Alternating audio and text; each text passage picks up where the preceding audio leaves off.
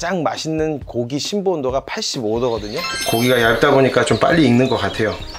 안녕하세요. 오늘은요 항정살을 좀 준비를 해봤어요. 그래가지고 택배를 좀 시켰는데 이전에 이제 왕갈비탕 재료를 가지고서 바베큐를 한번 해봤잖아요. 미국 사람들이 재밌게 하길래. 항정살도 바베큐를 하면 맛있다고 그래가지고 한번 가지고 와봤어요. 얼마나 맛있는지 한번 먹어보자고요. 일단은 고기가 한 덩어리 두 덩어리가 왔어요. 빵은 단면을 잠깐 좀 보여드릴까? 단면이요 이렇게 통으로 사가지고 내가 직접 썰어가지고 먹는 것도 괜찮을 것 같아요. 기계가 좀 많으면 많다 그럼 적으면 적을 수도 있는데 얇게 쳐서 먹든지 나는 상관없다. 그러면 그냥 바베큐를 해서 먹어도 될 것 같아요. 저는 여기가 좀 위에가 좀 살짝 노랗거든요. 근데 이건 좀만 살짝 걷어낼게요.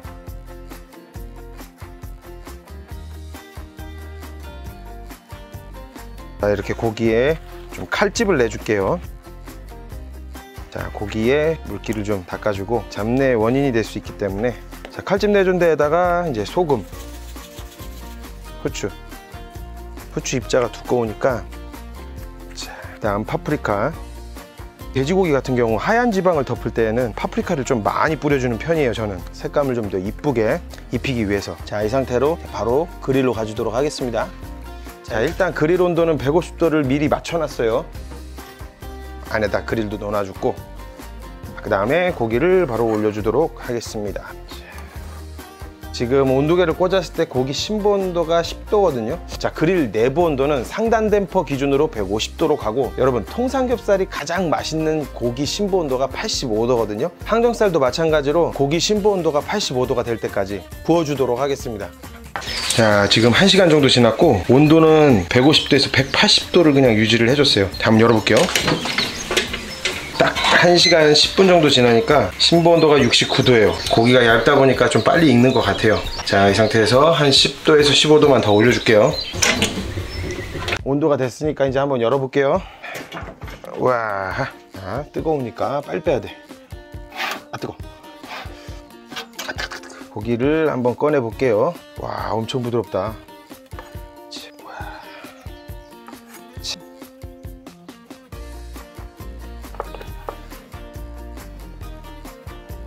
고기를 썰어 볼게요.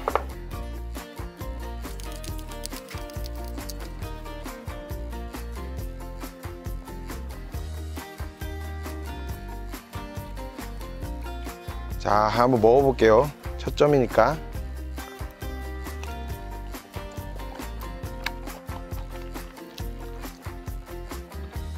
와 이건 진짜 식감이 다르다. 탱글탱글하고 부드럽고. 와 이것도 맛있다고 해가지고 한번 해봤는데 이전에 했던 왕갈비탕 그것보다 훨씬 맛있어요.